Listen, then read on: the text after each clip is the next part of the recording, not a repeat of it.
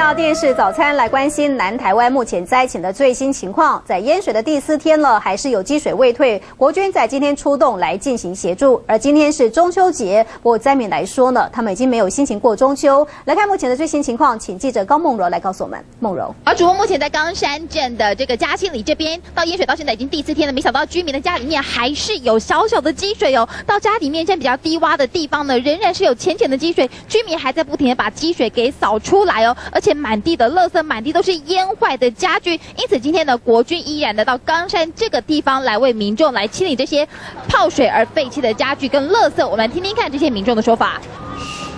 你在作业拢会听掉吗？那啊，怎么聊聊天啊？啊，伊当然拢袂打呢。啊，即摆哪个有水啊？他啊，放进来这新边，我搭到来，无爱落遐干，爱过遐干。即摆这个要搁积水哦。嘿？我多啊。啊，你这边拢标了了吗？漂了啊。